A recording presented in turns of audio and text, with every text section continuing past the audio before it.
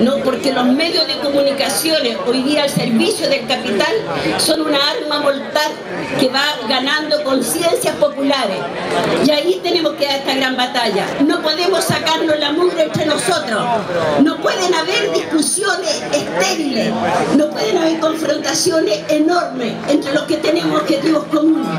Nosotros tenemos que aunar pensamiento, aunar lucha y tener la certeza y la claridad que nuestra lucha es con justicia.